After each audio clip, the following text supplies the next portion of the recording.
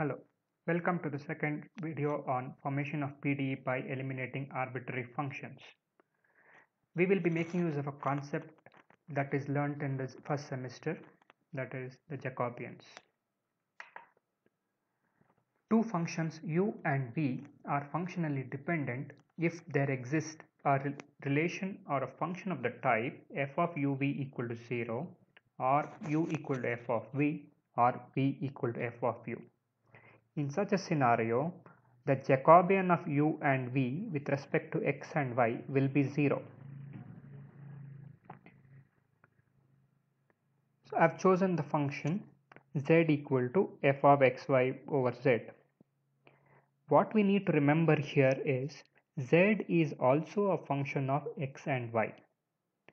Therefore, if we take u as z and v as xy by z, dou u by dou x will be dou z by dou x equal to p and dou u by dou y will be dou z by dou y which we represent as q.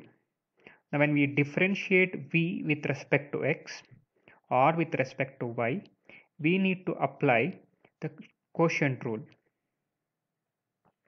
Therefore, dou v by dou x is y into z minus xp by z squared. Similarly, dou v by dou y is x into z minus yq by z squared.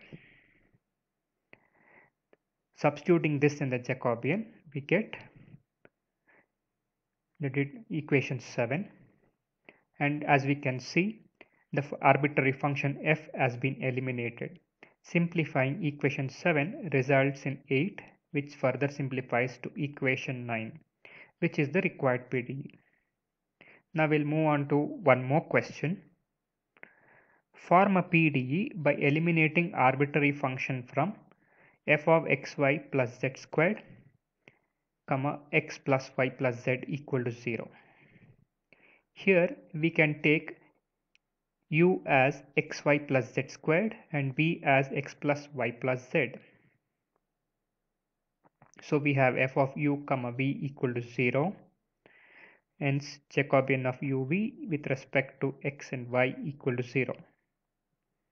So dou u by dou x, dou u by dou y, dou v by dou x and dou v by dou y is given by equation 4 which on substituting in equation 3 results in equation 5 which can be solved as equation 6 which further simplifies to equation 7.